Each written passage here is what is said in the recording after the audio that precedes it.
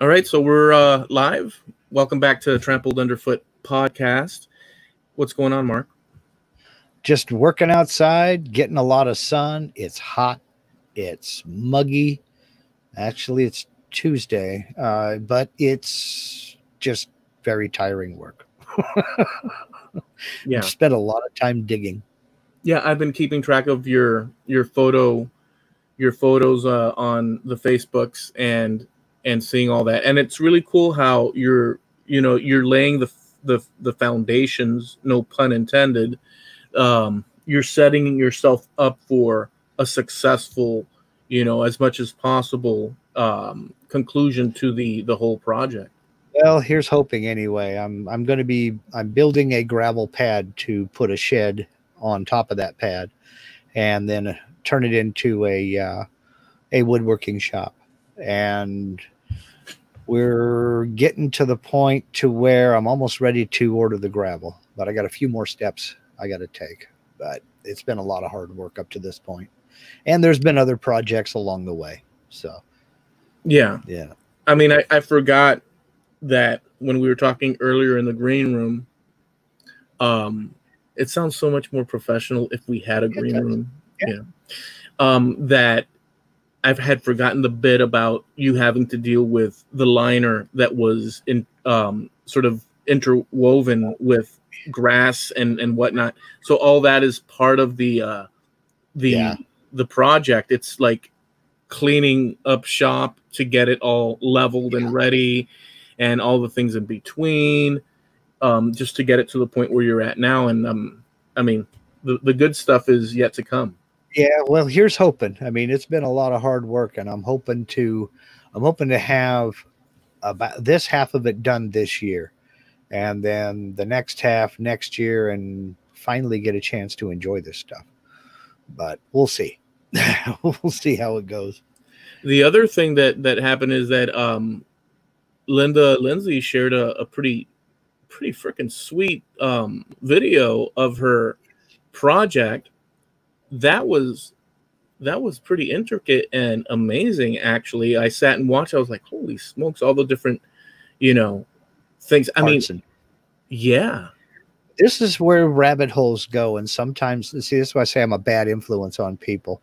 Just for some reason i don't know still don't know why on my i was watching a youtube video and over on the right side in the suggested column there was a video called getting dressed in the 14th century and what it was was this uh, i can't remember the youtube channel but we did post it over on our facebook page, the Trampled Underfoot podcast Facebook page.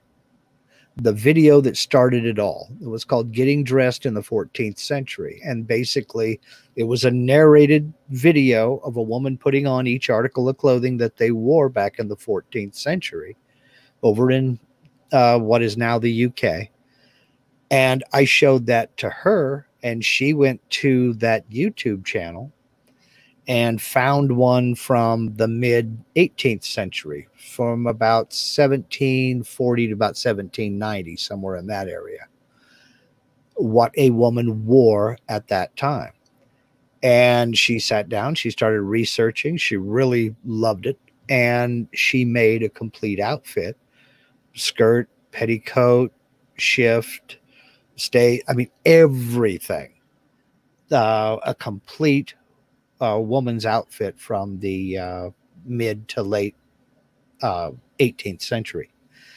And it really turned out nice. It really looks cool.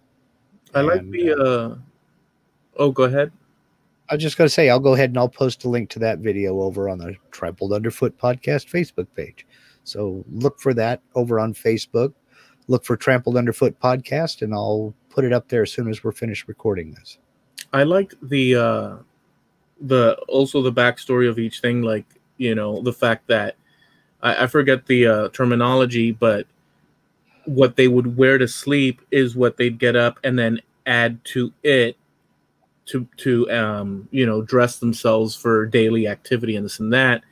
Um and the concept of you know imagine having to scrub down all that stuff and wash all this. Well you just had your that undergarment that you could go to bed with wake up and just add that to and like they did. So that whole thing was an interesting um you know just making you think uh of how that worked. And and and the other bit was and it's an interesting video so you guys should check it out is that the that she used I forget that what what she said that she, that the original people would use, but that she used some sort of like reed um, some sort of um, synthetic plastic reach for the uh, the I guess the pockets of that that one bit that that conforms yeah. to the body. Um, but I forget what material was what people. It, that that is uh, that garment is called the stays. It's similar to a corset, but it's not as tight. Right. And they used back in the day they called it whalebone. It was actually baleen from the whales. It was the plastic of the day. It was flexible. It didn't dry out. What do you mean it, baleen? The baleen are plates, uh, kind of uh, feathery plates that the whales have in their mouths. Mm-hmm. That they they open up their mouths and suck in huge amounts of seawater, then force it back out. Gotcha. And krill and little creatures that they eat are filtered out through these plates and they just, you know, chew them up, swallow them, and then suck in more water and just keep eating this these little all the way down to microscopic little creatures. And as a byproduct of whaling, they found that this baleen was very similar to what plastic is now. It was flexible, it didn't dry out, it stayed flexible it developed a memory. So as they they, they used it to stiffen these garments to form fit the body to give them back support and side and front support and uh, it would kind of mold to your body and stay that way. And when whaling went the, went away as a industry they started using uh, cane reeds like that you make a rat- rattan chair out of, things like that. Mm-hmm. But um, and some play some folks couldn't afford the baleen or the whalebone, whichever you wanted to call it. Um, they would use reeds or even really tightly packed uh, wool to force down into those pockets to give the garment some rigidity. And basically, this is these were overgarments that were also undergarments at the same time. And most of this was developed over in Europe. And you know England is a cold country so they would wear three four five layers of clothing sometimes and maybe go down to one or two if it was a real hot summer. But the whole thing was to keep warm and the more layers you had the warmer you stayed so yeah, it, it, also seemed like an exhausting endeavor, you know, because we, you know, at least I don't know about the rest of the world, but here in, uh, frankly, I don't even know about the rest of the uh, country, but uh, heck, I don't even know about the rest of the city. But here in my house, all you all you do is put your slide, you slide that big toe and that secondary toe into the flip flop, mm-hmm. right? You you put on a, a tank top and some that's, short shorts, and you're like at the dough. that's me. I tie my shoes maybe let's see three times a week because I only wear that type of shoes when I'm outside working. Every other time it's slip-ons or my flip-flops. I'm with you there. I mean, it's just like and and maybe it'd be different for me if I lived in colder weather, but it's like it's an impossible thing to sit with, you know, all all that bulky stuff on for yeah. what? Who you yeah. who you trying to impress? You know, I mean she she's a spinner, a weaver, a knitter, and she does demonstrations on spinning yarn, uh, wool into yarn. Yeah. And so she wanted a period correct outfit to wear while she's doing these demonstrations yeah. with you know period spinning wheels.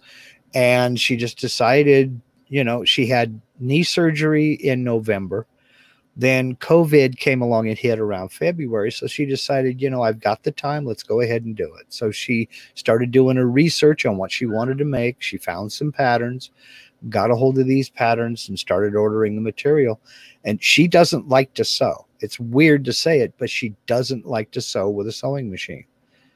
But she's fine with hand stitching. So she did almost the entire outfit by hand with needle and thread using the materials that were period correct, the same materials that they used at the time. She used linen and she used linen threads and the whole thing. Well, I'm just putting putting two and two, which so that sounds reasonable. I'm just putting two and two together as far as us in mm-hmm. the current era. Um, so I don't remember yeah. my dad or my grandfather, any of my grandparents wearing short shorts. They all dressed up. Uh-huh. Yeah. I mean, at least they had slacks on and button up shirts for goodness sakes. I i never i saw my dad maybe once or twice with like some sort of style polo shirt but no it was always button up shirts short sleeve for the for the the time here but and with the pants and stuff and like black or brown shoes like like like daily shoes but like what i would call boy, you're you're leaving the house pretty fancy. To them was like normal. To me, it's like, whoa, whoa, whoa. You better let those dogs breathe. You know.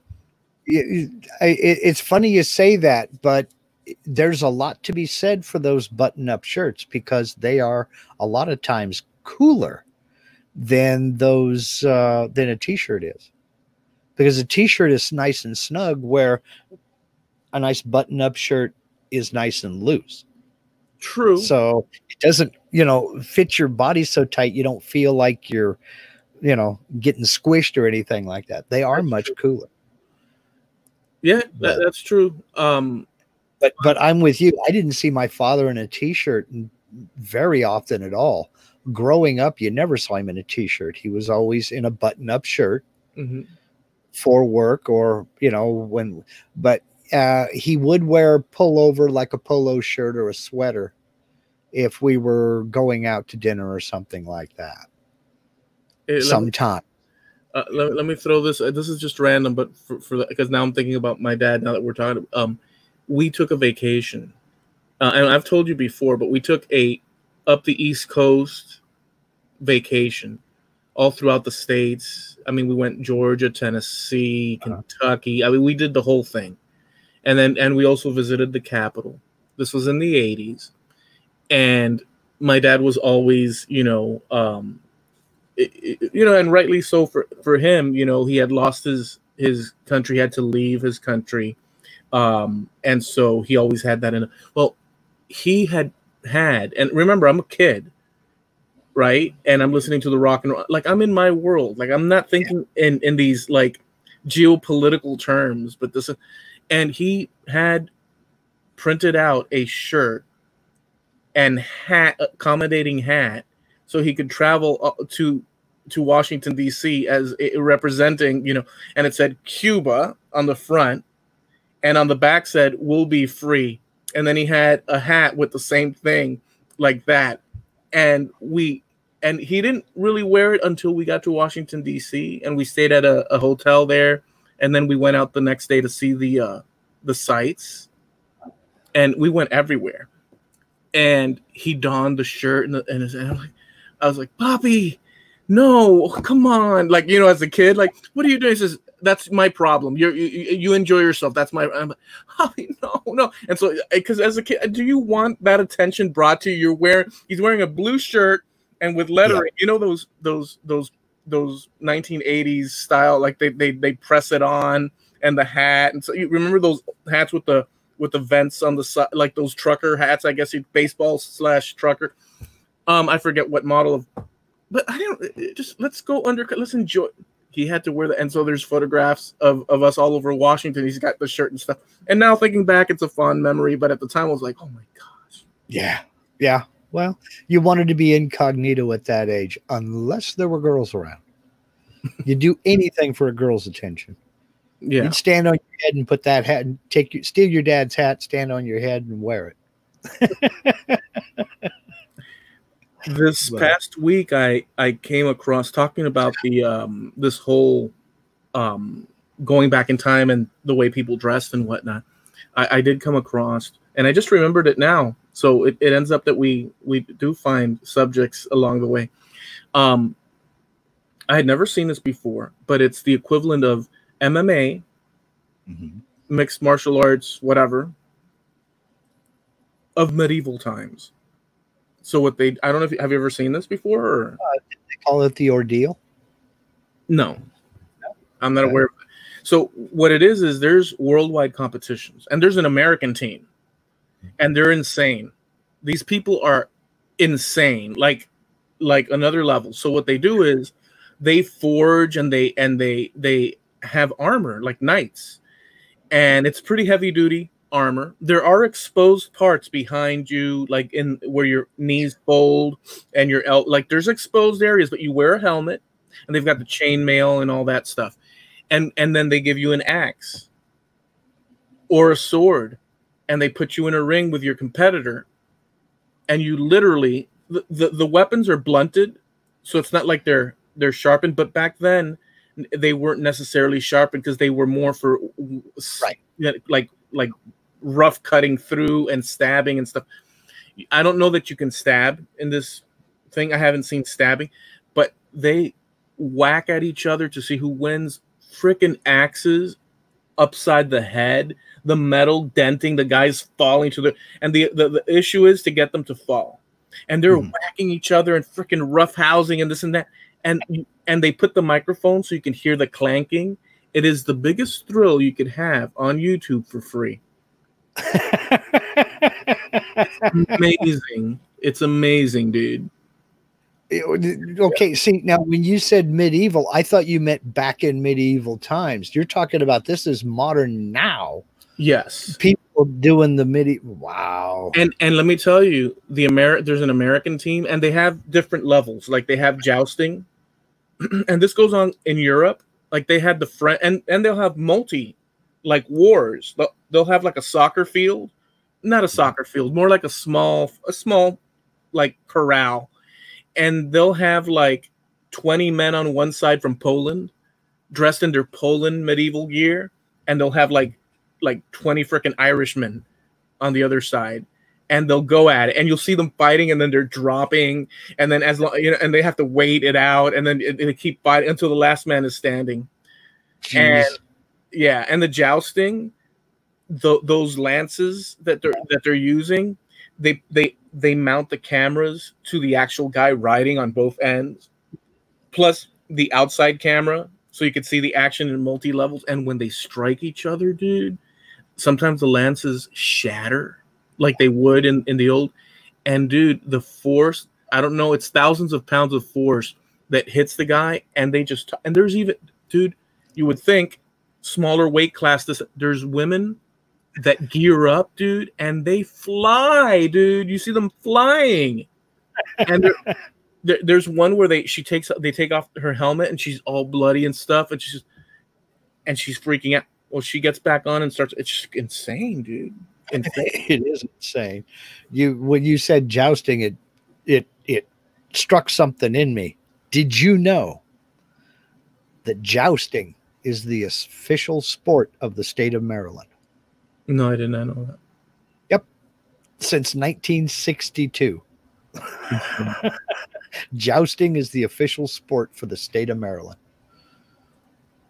when i i Like, what? that, that's a little bit out of place, right? Being that, but when I was in California at a place that I worked, they had in, on the second floor fencing. I had never been, you know, that's like a rich people's sports. Like, you know, you you, you grow up in it and stuff. And in my opinion, looking at it, like I'd, I'd never been exposed to it. Um, and I worked at the place like as a secretary, actually office secretary. I took care of any business coming in and going out and stuff. And but they had sports, different types of, and sometimes you'd have enough time to go up and leave a message or this or that, or somebody gets a phone call and you walk up and you stay and watch the different events. and I saw the jousting, and I was like, wow, this is totally so far from the world that I grew up in, like jousting. You know what? Jousting or fencing? I, I'm sorry. I'm sorry. Am I saying jousting? I Freudian. um, um, what I meant was fencing. I'm sorry. Um, fencing and what they do is I, I I don't even I never even asked what it was for, but they had these cables attached to them. And just the whole thing was so bizarre that I wouldn't I would not have grown up and my dad said, "Son, we're going to involve you in in fencing activity." Like that's like it doesn't even uh, cross I mean extreme was son, we're going to do judo. That was the extreme of of our, you know, thing. Put the kid in judo.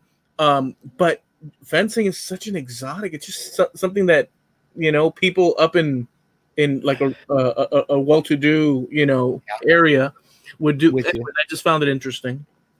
I, I you know I I I knew fencing went on. I mean, you you saw it. Uh, you saw it in the Olympics and things like that. But I don't think I know of or even knew of any where you could learn fencing. That's right. Uh, and, and, I'm 59 years old. I wouldn't even know where to begin. I imagine if you're into that kind of thing, you'd find it. But, you know, a kid in Medford, Oregon, oh, yes, I want to take up fencing. Well, where do you go to learn that stuff? You While know? you're saying that, I'm just going to do a quick Google and say, well, yeah, fencing fine. classes near me well, yeah, now it's easy, but where would you look back then, oh. pre-internet? Oh. You know. Well, you want me to tell you something funny? There's one, two, three, four, five, six. There's at least six fencing locations near my area that I could go to. yeah, well, see, you know, fencing has a whole different meaning for me because that's about all I've been working on for two two years. That is is fencing this yard. So, you know, there's a fencing club, not, not. Let me see. I don't oh even dire- directions. Let's see how, how far it says. It's so like are you going to show up next week and you're in a fencing outfit with your foil and the whole thing? 14 minutes away, there's a fencing club. There you go. How crazy is that? Whatever, uh, you know. Mm, yeah. What can I tell you? I don't know. It's it, it it it's kind of interesting now looking back. It may have been fun because you know watching it in the Olympics and things like that. It's like you know what? That's actually pretty cool. That's very cool. Yeah. And I think, I'm not sure. I mean, you know, maybe somebody could uh, help me out here, but I think what those cables were were for resistance. Just it, kind of like resistance training. You overcome the resistance uh, on those cables. Hmm. And, or maybe it's for posture or something like that. Or I don't know. System. But yeah, it's possible. I'm, I'm trying to think back because I know they had those, you know, point keepers, electronic, LED, old school. Yeah. Um, on the see, I thought that was built into your pads. Oh, is it? I see. I don't even know what the heck. There's a touch. It registers. And they were, and all the padding, it was all white. Huh. Or yes. like off white. So I thought they could have been a little bit more adventurous and, and given us some sort of crazy medieval but it was cool. Eh, whatever. Um, and I think fencing isn't fencing something to do with more to do with the 17 and 1800s as opposed to prior to that when it was just brute force. Prior to that was mainly battle axes. That was the ma- primary weapon, right? For many, many years until the crossbow and the bow and arrow. The well, no, and- no, they had swords and stuff back. But what I'm saying, like the refined, you know, Zorro type. Yeah, it's uh, seen as the chival chivalrous way that yeah. uh, would challenge another to a duel. It was the gentlemanly way. That wasn't the armies out there. They were out there with battle axes and pikes yeah. and uh, spears and what have you until the crossbow and the longbow came along. Then yeah. uh, that changed warfare. They kind of dropped the axe. It took nope. a little bit, but they eventually did. Yeah. insane, man. Um, Yeah. So nothing that that's that's the one thing. The the other thing I I, I guess I wanted to mention was that um, I did come across a very interesting uh, video this past week as well, and it's super interesting because there's this guy that went online and he went on that Alibaba site, which we were all aware of, and people buy all sorts of stuff from there, you know, and sometimes in bulk or personal and whatever, and it all ships from from China. And um, this guy decided to get the world's most inexpensive automobile and have it shipped to America Okay. and it's this little red dinghy of a car that has it almost looks like a toy like those tin toys that you would pull back on and release and they go driving off Yeah. um it's tiny and the windshield curves up like a dome like a I don't even know what to call it. It's bubbly shaped. And he ordered it. And so it arrives he said by the end of, it cost him he, he said the price tag was like $900 Oh, geez. And but twelve thousand dollars to ship it, I'll bet. yes he says when all was said and done it came out to you know 2000 something or whatever the case may be um but he said you know i guess for his youtube chat who knows why he did it. Um it, he he had the, the the adventure to do so. And it ships and it arrives and it's got cardboard all over it and stuff. And it's literally like it could fit in this room. Like easily. And it's an electric car right? And so they unbox it which is a funny thing. They unbox it ripping out the and then you see this like this thing and he's touching it and stuff the doors open and close um with that car like shut shutting you know that sound that punk that Uh-huh. it's got the same it's got a a, a back um um what you call um hood or uh, what you call a hatchback thing where the batteries and the and, and the motor sits. It's a motor and it's got the little plug. It's got a fan. It's got a dashboard. It's got seating for two in the front seating for two in the back tiny but when you get in it since it's like egg shaped it's huge like the guys you know it's like it's a normal and so he was constantly surprised at and stuff um and he set it up and and they drove it and it goes not as fast as a gol- uh, golf cart Yeah. but it but it drives right Yeah. um Yeah. so it was funny as hell dude and it was equipped with led lights how we got it licensed because it would have to be built to be a car to be licensed as a car. It would have to meet current DOT standards unless he registered as a golf cart. Um, he's got like some sort of lot. He took it out on the road a little bit and brought it back and stuff. And he was mentioning, oh, we don't want to keep it out here too long because we don't want to Yeah, go. okay. So he doesn't have it street legal yet. Yeah, okay. But it But- didn't go as fast as one would Right. hope. Well, you know, down there where you're at, I, okay, of course, you don't live in a golf community, but there are a bunch of golf communities in Florida, and people just basically live in their golf carts. Yeah. You don't have the Cadillacs now; you got to have a high-speed golf cart. you Yeah. know. So that might go over down there. Then again, you never know. I don't know. I'm It- have to look for the video. It was super interesting. Um, it's not fast by any Yeah. stretch of the, but it's it's got a huge open, uh, just wide um, Mhm. windshield. It's, I mean, visibility is incredible. It's an egg, just about. It's not really an egg, but the front, it's you'd have to see it. Um, and boy, they they for two grand, a little over two grand, they got the, but it don't drive that fast. It just it kind of drives along. It's electric, so you don't hear anything really. Yeah. So it's a weird thing. It's got these little tires on it and stuff. So it's almost so it's like one step up from the Barbie pink Corvette or the pink Jeep. Yeah, no, and he touched like like the it the it was fabricated incredibly well. Um, there the the actual dashboard you it's all how can I put it? Um, it's not as crappy quality as you would think. It's actually well put together, but it's just it's it's it's basically you know it is what it is. But if you touch the dash, you can push on it and it moves around and stuff. You know.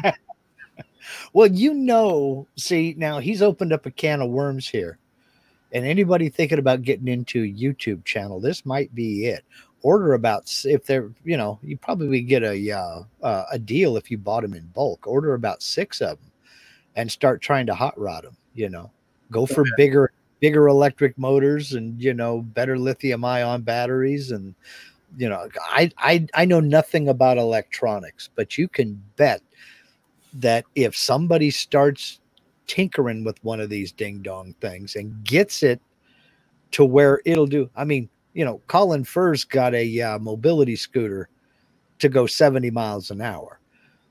It wouldn't be long before somebody would get one of these little suckers to do that too. Yeah. Oh, yeah, for sure. You could do it. I mean, you know, I could see that taking off, especially if there's an affiliate program to where he could get a, a little, you know, cut off of each one sold. If you have a big property, um, you and you, you could use it driving around in that thing. But then again, you can have a, a quad or a tractor or something like that, something you can work with. Yeah. Right. Or you could have a golf cart to be honest with you. But the, the it looks great. It looks fun. But uh-huh. the bad the bad thing is the speed of it. So it's like if you had like the property to do so and travel up and down it, uh, you'd be putting along. So it's like well, you know, it's depending upon how popular this video is, you give it a year, there'll be people drag racing them.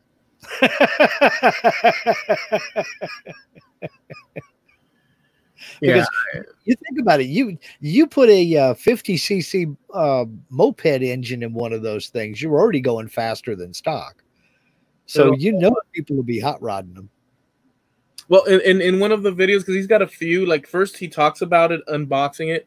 On another one, he takes it out for a for a test run, and the, the video opens up with him like driving towards the camera and then doing a like like like slide like a little slide sideways slide but it's so slow it's like it came out cool the way it looked but you know it doesn't like you go uphill a uh-huh. little bit and you have to keep it pedal to the metal you know what i'm saying yeah well Okay. Well, you're gonna have to link that over on the Facebook page because I'd like to see that video. Definitely. I'll I'll I'll link it on our Facebook page. That's face that's trampled underfoot podcast on Facebook, and we usually do that. We um, post links to the the topics uh, if the, there are videos or pictures of it, and we will usually post those over there, and you can interact by um, you know um, giving us some ideas for shows, future shows, and whatnot, and checking it out and and all that. Um, we also have a what is it? A website, and it's called trampledunderfootpodcast.com. Um, and so you can go check out our past episodes over there by clicking the Wayback Machine button, and that'll take you into a list of our our previous uh, episodes. So that's trampledunderfootpodcast.com, and we do do these every Tuesday at 9 30 p.m. Eastern time and 6:30 p.m. West Coast time, Pacific. Right here on the mighty YouTube's Trampled Underfoot podcast on YouTube. That's Need right. also mention that Trampled Underfoot podcast.com is sponsored by Steve Nealon over at Harneal Media. Good guy. You need a website, web store, want some merch designed and what have you? Talk to Steve. He's your guy. He can fix you right up. So, yeah. so I wanted to ask, what's that? no, go ahead. Go ahead. I'm sorry. No, no, no. Go ahead. Go ahead. Say, thank you for that, Steve. thank you, Steve. Um, I, I was going to ask. So, so I, the title for this was the age of aquarium. Yeah. And um, we were talking earlier, but we never got round to it. And uh, I was asking you, so when you read that title, what what did you what did you think? What came up? What came to mind? My my brain went in about fifteen different directions because I am a kid of the '60s, And I remember the big thing being the dawn. This is the dawning of the age of Aquarius, you know. Uh, and that song became real big on the radio. I mean, it was all over the place. It was one of those you couldn't escape. Mm-hmm. My dad bought the album. It was a song from the Broadway musical Hair. And I never saw that. Uh, a movie was made of it and the whole thing. But so my brain went to that. But then I started thinking and got a little bit deeper in it. And as always seems to happen, um, it went back to a lyric I've heard in a song. And in this case, it was Pink Floyd, Wish You Were Here. We're just two lost souls swimming in a fish bowl year after year.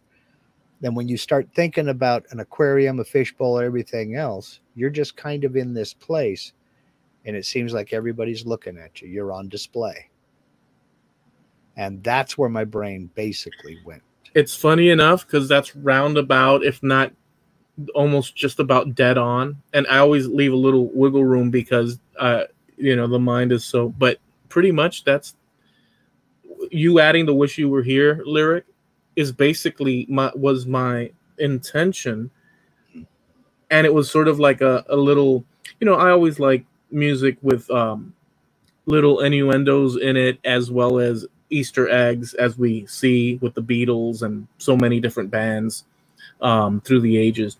And so with the titles you know that popped into mind. It's nothing that i gave it too much thought but i thought to myself age of aquarius age of aquarium being in a, our reality mm-hmm. is what we have around us.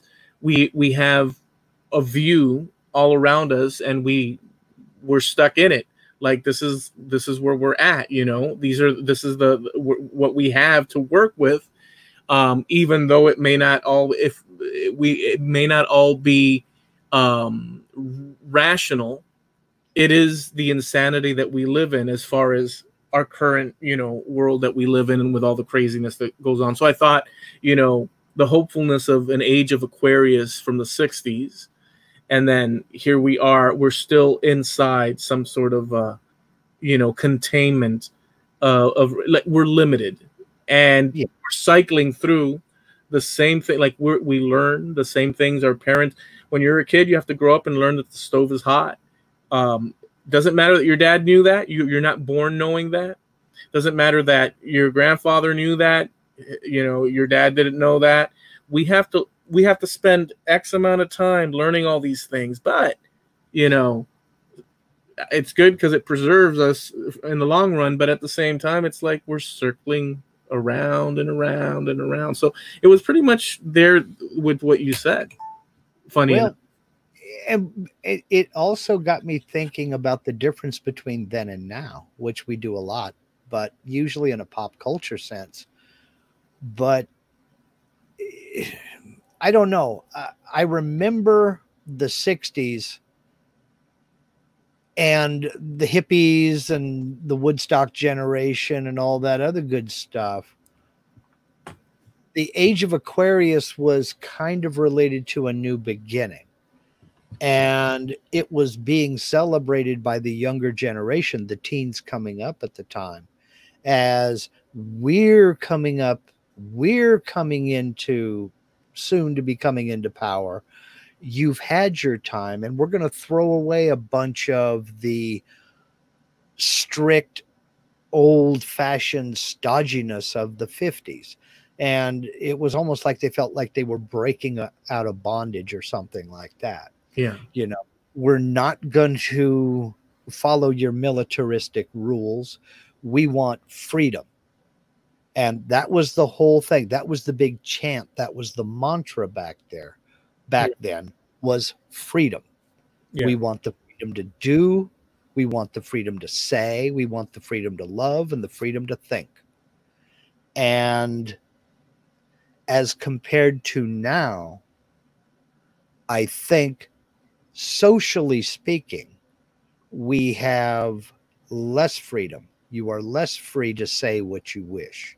You're less free to do as you wish. You're less free to love as you wish. because we're in the aquarium and people are watching.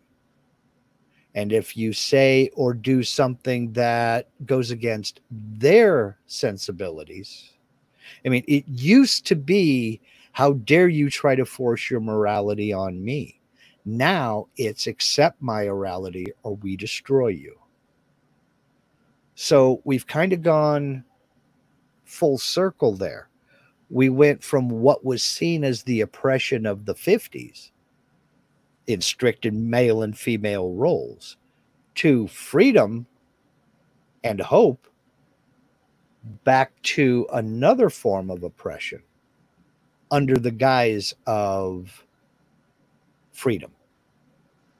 But freedom is never mentioned. Yeah. No, it's just it it, it kind of that's that's the kind of stuff that goes through this head. That's what it's like to be me, to live with me, you know. It it it it's it it sounds good. It makes for a great sound bite. But on it living it on a day-to-day basis, there is no freedom involved. You know, if you have to fear for what you say, if you have to, if you think you have to be careful of what you're saying, because there will be consequences socially uh, or, you know, career wise, how free are you? There's always, I've been, I've, I've always been very uh, uh, aware of that. There's always whatever comes out of your your pie hole, there are consequences to it, not evident immediately most of the time, but people, you know, one of the so one of the things is that that I've accepted or have come to the conclusion of realizing is that as an example, I'm going to use this as an example, but this is basically the point that I, I want to make. You and I are communicating at this very moment using the, the the, the, conduit of, of communication is the English language, you and I right now. And we acknowledge that and be, and it's quite obvious because you and I are exchanging concepts, ideas, and and so on back and forth, and I'm receiving information that you're sending out to me, and and vice versa, and all that. Um, but I've come to the conclusion that in many cases or most cases, even if you're using the same language to communicate to someone, that is not good enough for the amount of possible variation in what people define certain combinations of words as being. So it creates a situation that you, because of you know externalities or um, cultural or um, any set of numbers of, of, of different outlook, people will interpret something benign, can interpret something benign as something completely on the opposite side of the spectrum as aggressive or as violent or as right. this or that. And so I've come to the conclusion that even though this society at large, within the confines of our, let's say, country or localities or whatever, even though we're speaking the same language, the we're not the we might as well be speaking Martian. Yeah, because um, people are hearing what you say, but they're not listening to what you say. What when when when we are so concerned with how something is said these days, we completely and totally ignore what's being said. You can literally call a person the lowest form of life on the planet, but if you say it the right way, they'll walk away with a smile on their face, whistling a happy tune. Yeah. There is more concern with how something is said and there's a lot also to be said for those who look for something when there's nothing there. If I say the sky is blue, Well, you don't think that the earth is brown? Well, I'm not talking about the earth. I'm talking about the sky. Well, what's the matter with the earth? You know, yeah. there is no, it, it, in making a statement that the sky is blue, there is nothing there. There is no other ulterior motives. There, there's nothing else there. Some things just don't mean anything. So I think we all need to take a little bit of a chill pill and stop trying to look for other meanings when there isn't any other meaning. You know, well, we'll mean anything. Well, we'll see. So, so I'm I'm of the belief that that uh, uh, different than than what what you said in that you know in in that I believe people can and should, if they so choose, go hog wild with their assumptions, this, this, this, this, and that. All fine and well up until the moment that you breach the, the the the line which is you know inflicting upon another person or um, what's the word um, fraud fraudulent you know trying to to to squeeze someone for money with some sort of scam. Like you, you, could have all these things right? And you could you could live in your your fantasy poo poo um, pony world if you choose however when it comes to the golden rule that is something that cannot be retracted because um, that would be the end of life as we know it. But that doesn't matter anymore. That doesn't matter anymore. Because now these days anyway the what, what i'm seeing is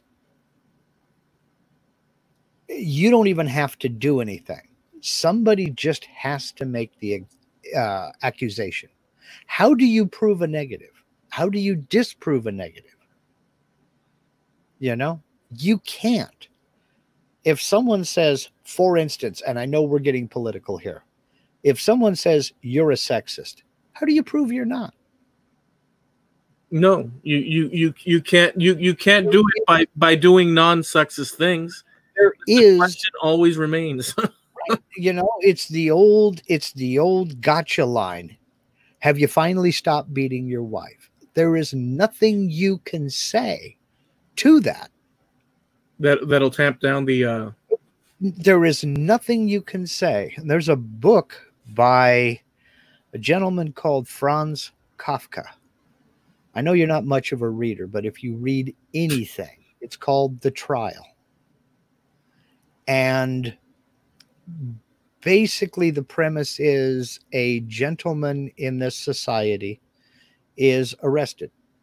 Can, can I let me just interject? It, it's not that I'm not much of a, a reader. The, the the long book format, because of my visual thing, has been, you know, on the outs, but I, I read on a constant basis, uh, uh yeah, researching. Some people just don't like to sit down with a book and read, and I get that. A lot of people don't. I just the reason I put that out there just because in in the year 2095, I don't want some some guy saying this no, guy. I don't mean literate. That's not what I meant. See what I mean right there? I said, okay, I know you're not much of a reader. This is how we are. We have gotten to the point to where you felt you had to defend yourself rightfully I so. I just wanted I just wanted to add that little extra bit for mm-hmm. future reference for goodness sakes. All I meant was you don't like to read recreationally and I get that. I understand. Dude, no that's people see you're see we're speaking Greek and fricking, you know, Taiwanese right now. I love to read dude, I do that all the time. I read recreationally. I just don't read long book form. Well, it depends, but I don't do that as far as like the traditional sitting with a novel and this and that. I don't do. And yeah. you're right. I am. I am making it clear, and it's kind of the point of what we're all talking about here. okay, well, it is the point of what we're talking about because it when is. I say I know you're not much of a reader, that doesn't mean I think you're illiterate. Okay, I know you can read it's just not fun for some folks, so they don't do it. And I no, get it. But you're adding that you're qualifying no. You're qualifying that it's I'm not serious. I love, dude, I love consuming information. Okay. And it's then, not and it's not just pictures, like, oh, look at that But I'm not in the I'm not in the long book format think- sitting with the thing. But knowing you, sakes. but knowing you, I think if you got into this book, you might change that for this book. Uh, because it's relatable. You can relate to some of this. Son of a gun. This guy is arrested, but he's never charged and he's put on trial. He doesn't know why he's been arrested. Okay. But when he's on trial, it doesn't matter what he says, he further condemns himself. Oh, jeez. He's never charged with anything, but they find something wrong with every question they ask him and he gives an answer. They find something wrong. Okay. So that has given rise to a phrase called the Kafka trap because it was written by Franz Kafka. It's called The Trial. And it's that question that you cannot prove yes, you cannot prove no. Right. So the only way that you can defend against such a question is get out of my face and get away from me. That's about all you can do. Do do they have the comic book pic- pictorial There might have been a movie about it. There might have been a movie. I'll look. Not a silent one with cue cards because I don't want to read those. Oh, Okay. All right. Well, you know. now, watch. I'm, what I'm going to do is I'm going to find the Scandinavian version. You're going to have to read the closed captions. So, um, but yeah, and, and, you know, you're saying let people go crazy, let people go nuts until it interferes with somebody else. That's what it's all. It's all about interfering with somebody. right, right, but but isn't so? I, I've come to the conclusion, especially, and I'll be honest with you, even on on Facebook, and we're all friends here, so I'll just say, you know, people have so many varying, you know, concepts, and like they'll even agree or accept violent activities towards others, you know, willy nilly if it justifies whatever. I mean, there's so many things that one could see. A reasonable person, um, what I deem reasonable is keep your it's always keep your hands to yourself dude it's like it's like to me since i can't number one um the world if i were to run the world let's say hey i'm gonna run the i'm gonna run i'm gonna be the guy running the world you know i could in my mind i could fool myself into thinking that I've got this thing unlocked. I know how things should be run. So I'm going to tell this guy and that lady, and this is how you do this, and that's how you. And boy, isn't everything wonderful, everybody? But it never, you can't, there's no human being. We're one brain in a specific body. And we've seen it throughout history. Julius Caesar became freaking um, dictator for life. And he did a lot of good things, by the way, for the standards of, and they came and freaking stabbed him. I don't know how many times because they said that this is not democratic. Um, uh, it- it- he's destroyed the republic, so they stabbed the crap out of him, killed him, and then you know he dies. People found out, even though he was dictator for life, and Rome went into freaking decline. Short, you know, it just kept going down, down, and they th- those people couldn't put it.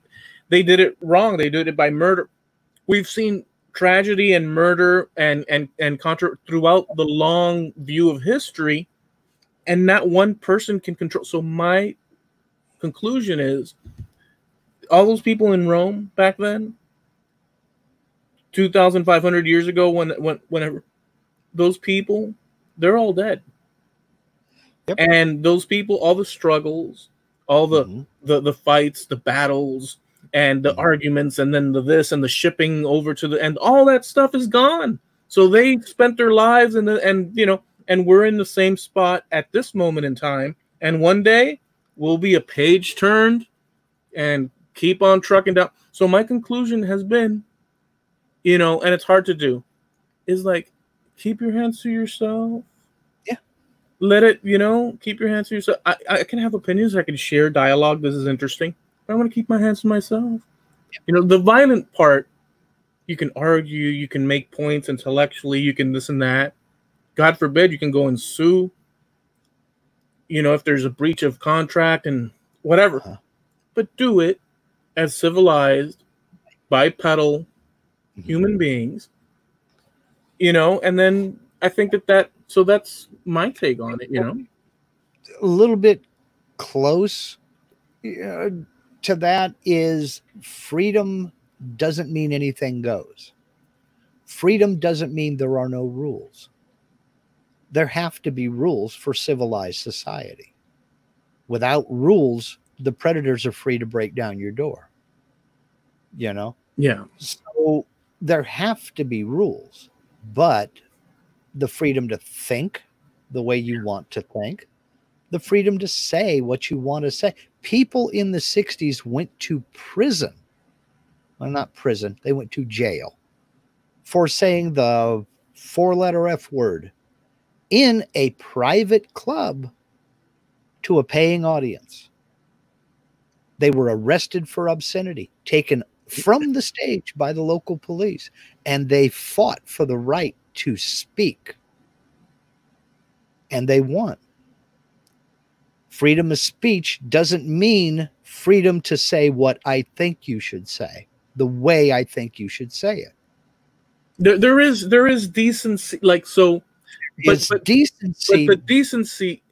Well, go ahead, because decency. But that's what they were getting them on. Well, that's obscene. In your opinion, it's obscene. Well, that's what. Let, let's let me let me add to that. Um, there, there's a decency thing that people at, at some level should agree on, and, and, and they may not. But but but there's a decency thing where it lets people get on with life and this and that. And you can have scenarios where people, well, excuse me, that kind of language is not. Can you please stop? No, I'm not going to stop. Well, now you're now in my private oh. establishment. You can take your happy ass on down the road or stuff like that. So in that those scenarios, it should be left to specific little scenarios. Point. It wasn't left to that. These were paying customers who went to see a comedian. We're talking about Lenny Bruce, George Carlin. Yeah. People knew how Lenny Bruce spoke. They knew how George Carlin spoke. They paid their admission. They wanted to go see these people. And yeah. someone outside who was not invited, who didn't pay the price of admission, came in and arrested the man on stage and took him away. So you had the higher up saying, You can't hear that. That's what they fought for we've gone 180 degrees in the opposite. Now you have to be careful for what you say. So George Carlin is long dead. Lenny Bruce is long dead. What they fight for, what they fought for, is dead along with them. So you're absolutely right. All of the struggles that they went through for freedom, for your right to say what you think, whether it be right, wrong, or indifferent. That's not their call to make. You have the right to say it. Well, and there's forums, and there's forums to butt heads, mm-hmm. whether in public, um, town halls, or bookstores that have the reading of a controversial whatever, or online, or by the phone, or get and gather, or whatever the case. But I could be standing in front of someone that is completely opposite to whatever I internally believe and is the foundation of my, you know, I envi- you know, this is the world as I envision. This is what glues my psyche together and stuff. And I have no business touching a hair on that yes. person's head. You're absolutely right there. My right to swing my fist ends at anybody else's nose. Yeah. You're absolutely right about that. And you're right. There is common decency. You treat people as a civilized person, you treat people the way you would want to be treated. Right. So, and you take people one on one. But above and beyond that, when you have a group of people who have made it their sole mission to analyze everything you said to make sure you got your commas in the right place and you're using the periods or full stops where you should be. Everybody, everybody now has to be careful of what they say. So that bit of freedom has been taken away. That's where I'm going with this. There is no freedom, there's no independence, there's no liberty being taught. Now, what's being taught is you have to think the way I think. And because George Carlin said it best himself. We think in language. So the easiest way to control your thoughts is to control your language. I mean, we've been set up through the system, uh, you know, we, you know, a whole lifetime of because, you know, abstract thought. I mean, look, you can't be abstract all the time because we'd be just like, I don't know, bouncing back and forth onto trees and rolling around in the dirt and saying, ah, ga, ga. Uh, you know, there, there has to be some structural, you know, I am completely pro tradition. And at the same time, it's a funny, sort of perplexing scenario. Uh, totally pro breaking down tradition. It's a weird thing, but it depends on what and for yeah. what purpose. It's okay in in in the arts, uh-huh. in literature, um, all the you know, in these things, it's okay to test the bounds in an intellectual way. But when it comes to look, my biggest here's the thing, I, I have yet to get over, and uh, again, I'll come clean for for our, our audience and and and everyone. I I'm yet to get over a, a, a, a frail woman in California protecting her business getting hit by two by fours by huge people because of something that happened all the way in Minneapolis. Um, or as an excuse for that. Uh, that. And then the other one, another guy protecting his store, being after he's dead, and it was filmed and, and broadcast, you know, after he's dead, people are still kicking him. Mm-hmm. They killed him in front of his store and they're kicking him and you can see his legs are dangling. What what is that? And so those two are just sadly to say these are examples. These are actual human beings, right? But hmm? that th- I can't get over what that means. I know what it means. Don't get me wrong. I am quite aware of what it means and and and and the repercussions of it. Mm-hmm. And, but I can't get over that that that that visual yeah that that that all of it right yeah. the, the visual the the amount of people willing to commit damage and and and and hurt to people in the name of of something that i don't want to say is an abstract but it's so far when you deal in groups if I if you if you if you offend me in a damaging way, it could be political, it could be physical, but and I choose to condemn all Oregonians. hmm I've lost that righteous, you know, rebuttal to what was been done to me because I am now grabbing a whole group and saying they must punish be punished for what one person did. And maybe that person could have been justified not just i don't know not that i'm comparing but i'm saying that you can't deal with people group in groups. You have to deal with people individually. Right exactly. And that's what you're supposed to do. You're supposed to deal with people one on one but i want to go back to something that you said a minute ago and it's this con this word that I keep hearing all the time offense or offensive. What happens when you're offended by something? I submit that if anything anybody says offends you, that's your problem because it's your judgment. Your judgment gives you that feeling of offense. But what happens to you? What is the consequence of being offended? Do you get cancer? No. Does it end your life? No. Maybe you have a little bit of an ego problem. Or maybe you need to think things through. Or maybe you just need to grow up. You know, offensive is in the eye of the beholder. And that's what guys like Lenny Bruce and George Carlin went to jail for, and Larry Flynt went to jail for. Now, I'm not supporting anything that any of these guys said or did, published or produced, but they had the right to do it and say it. And they have they fought for their freedom from incarceration to be able to do it.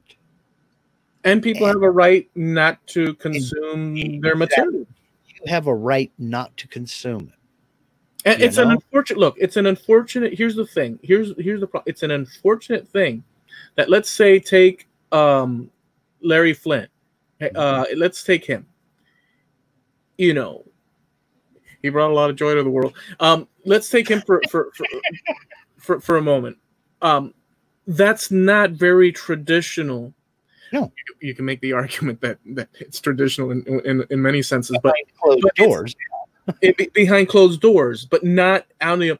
So you can make you can make a personalized argument and and say, well, I've concluded that you know this nudity thing is harmful to our kids, to our society, husbands and wives, and it, the resentment and you know uh, you're objectifying and this and that.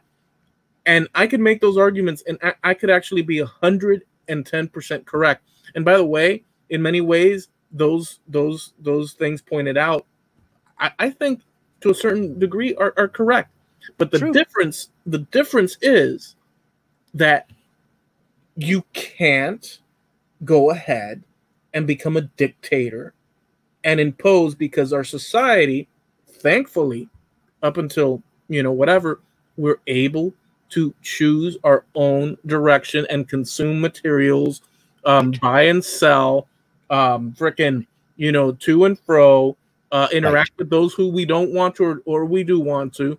There's things that are already in place, and so even though I may disagree with a Larry Flynt, Yeah. which at the same time I kind of agree because it's not like it's not like I never you know uh, read one of those magazines, but but the point is that I can see the the the, the actual consequences of things like that. But who am Yes. I? You am I? Believe those consequences with every fiber of your being, but your only real choice is not to purchase the magazine. Right. You and I have we have every right to our opinion. What we don't have is the right to demand other people Conform to our by force. exactly. Yeah. I mean, it's such a Don't- simple. You know, it, it, it really is.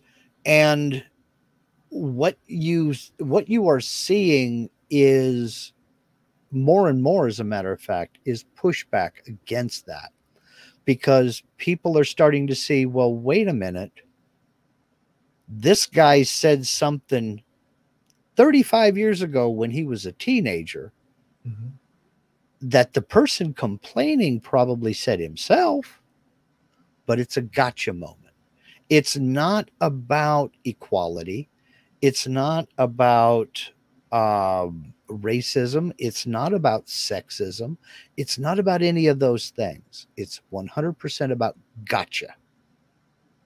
You know, there's a reason why Kevin Hart didn't get to do the Academy Awards. It was a gotcha moment. Somebody decided they didn't want Kevin Hart to do it, so they went looking for something that they could hang him with, and they found it. You know, uh, when you think about all of the quote unquote heroes that have been taken down, it's always something that somebody went looking for, um, you know, 20, 30 years ago. You know, that's to take it back to politics for just a few minutes. I don't know if you remember the elections of the 90s when Bill Clinton said, Oh, I smoked it, I tried it, but I didn't inhale. Yeah, I remember. And it, became a joke. hmm If he really honestly wanted to be frank with them, he would have said, Yeah, I inhaled and then I drank the bong water. That was 30 years ago. Who cares? Let's talk today. Yeah, but you know that that that little that little statement probably got him a lot of um, kudos from a lot of people. It did from a lot of people, but not from anybody that really mattered. Well, You know, I mean, but then he tried to, get- then he went on Arsenio Hall and played the saxophone, which was actually pretty cool. But I saw that episode. it, so did I. That was actually kind of cool. I saw it when it happened. That that episode.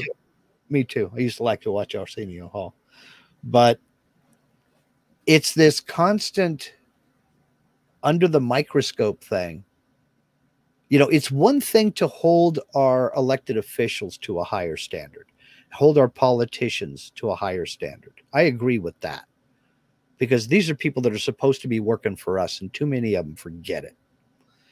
I agree with holding those in authority to a higher standard. But some mope like me on the internet, I try to be non controversial. I try to, I'm a live and let live kind of person. I have my opinions on what I think is right or wrong, but there's only that. They're my opinions, they go no further.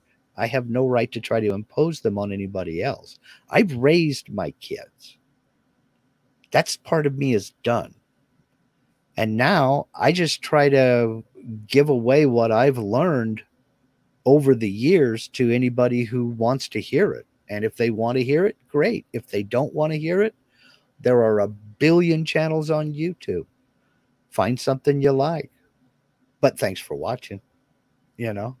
and there's and there's really nothing that one could do. I mean, there's also the the flip side of that. Mm-hmm. That as much as we we know, mm-hmm. I mean, we could be totally freaking wrong oh, on, yeah. on on some things, um, but have rationalized it. It's very hard for one a person to say, "Man, I was wrong on this, this, this, and that," because number one, it would have to be so blaring. I mean, you'd have to be standing there with an axe in an alleyway and and, and come to your senses and say, "Oh wait, this isn't right." yeah. uh, you know, it, it has to be that extreme because human beings are, are geared to always like like um like defend or or or I forget what the word is. There's a word confirmation bias. Um, we're we're and we're all because we're all human. We all have the same um, to differing degrees, and we our our vantage point from our from where we're at. We always protect that, but so so you know i always leave out the po- leave in the possibility of i can be wrong but there's some fundamentals like the don't mm. hurt other like that i don't there's no way i'm gonna because what's the alternative to that you know, you know eh, psychopathic to take it right back to the age of aquarium we're in our own fish bowls and we only know what we know and I'm wrong more than I'm right. I, I, I, freely and openly admit that. I know what I have done, what has worked for me. That may not be the best way for somebody else, but it's worked for me. And if somebody wants to hear my experience, I'm happy to share it. But I'm not going to go out and try to impose or go on your timeline and tell you you're doing something wrong or try to talk you out of doing something that you have your mindset on unless it's going to get you killed. If it's going to get you killed, I might have a few words, you know. But we're here for a short time and there are no second rides. So that we're aware of. We're aware of. So I think what we have forgotten with all of this freedom that we supposedly have, I think what we've forgotten is our ability to enjoy it. Oh, that's out. That that's that's totally and, true. You know, get out and see, meet people, do things. You know, um, help a buddy out if you can, and just live life. Yeah, enjoy life, and quit quit sweating the minutia that doesn't affect you It doesn't matter to me what somebody says on Twitter. I really don't care. Doesn't matter what somebody says on Facebook. Is, really is minutia is minutia that that little jam between the toes that happens after a long day out in the sun and walking around? Yeah, or or yeah, that's exactly what it is. You know, I agree with you. Um, I, I agree with you.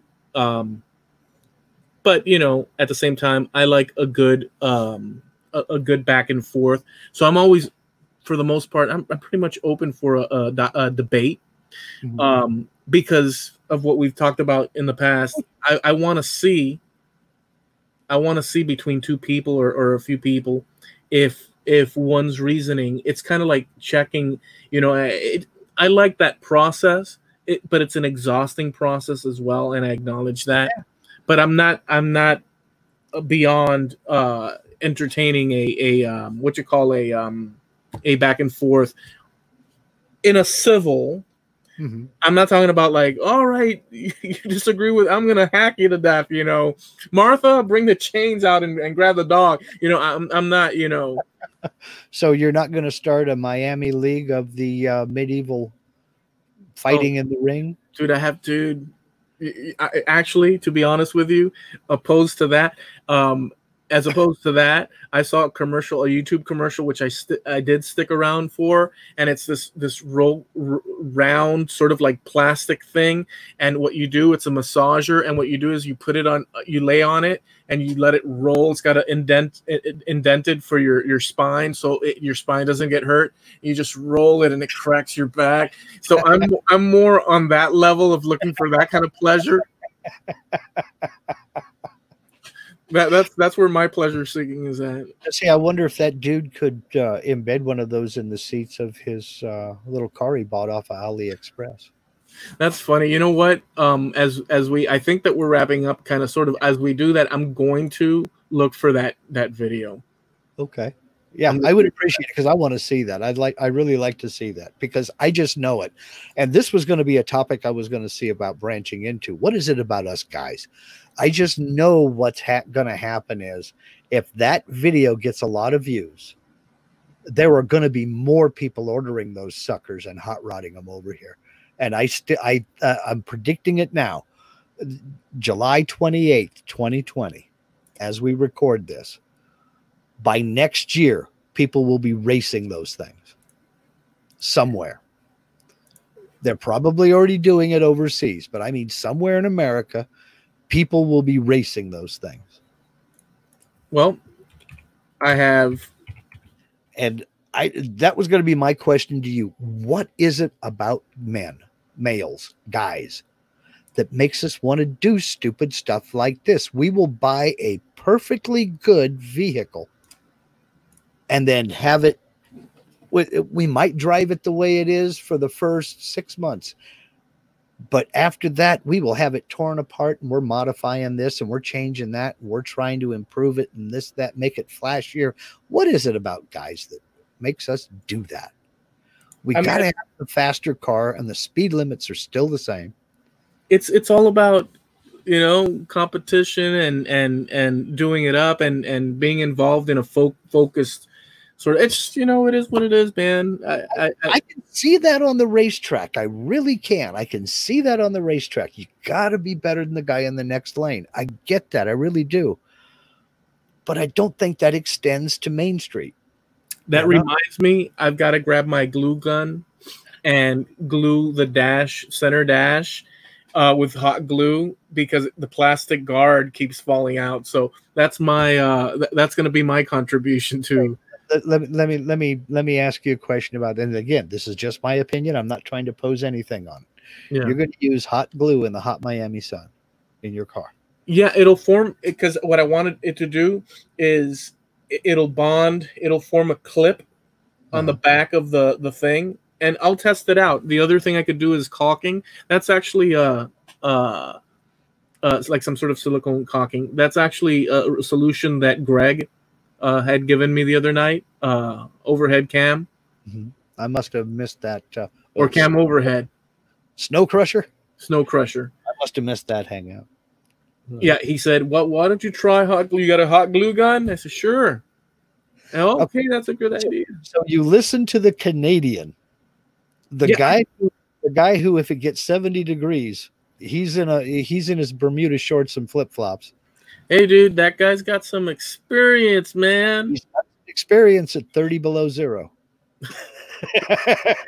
well, because I started saying I'm going to take some screws, I'm going to drill some pilot holes and screw it right into the freaking console, the, the plastic of the console in four parts, and just and that's it. Because all I want is for it not to freaking move every time. Because I got bungee cords sticking, uh, oh. holding it together, and every time I break, the thing goes, you know back off of that. I think hot glue would be better than bungee cords.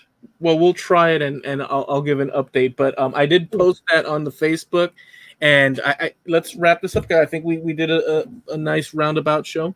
I think we did. We went everywhere, and some places maybe we shouldn't have gone. But it's my edit, so I can fix it. Yeah.